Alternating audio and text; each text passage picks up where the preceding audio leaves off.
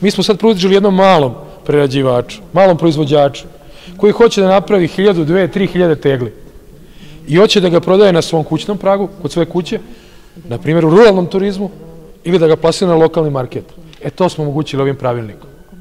To smo radili prošle godine za robu životinskog porekla, sad za robu biljnog porekla i hoćemo da što više uprostimo.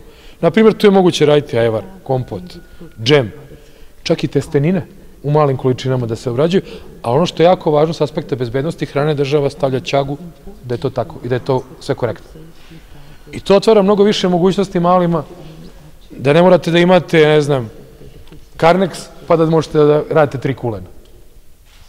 Ili, ne znam pojma, da ne mora da bude u Jermenovcu prerada voća, da to može i ovde u Erdeviku, ne znam, ili u Višnjićevu, ili vamo u Manđelosu. Ili bilo gde u Srbiji.